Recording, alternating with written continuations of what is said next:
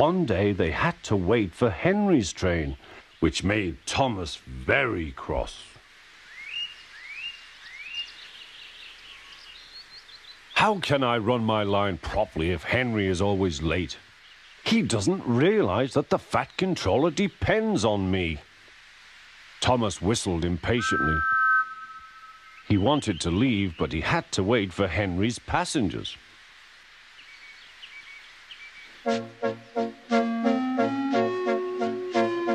At last, Henry came.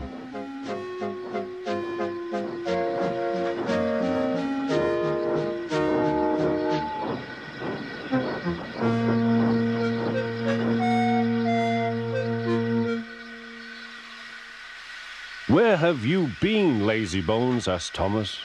Oh dear, my system is out of order. No one understands my case.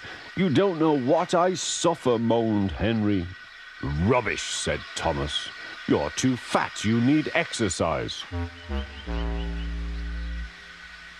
The guard blew his whistle, and Thomas started so quickly that he left him behind. The guard waved his red flag to stop Thomas, but he was well on his way steaming out of the station.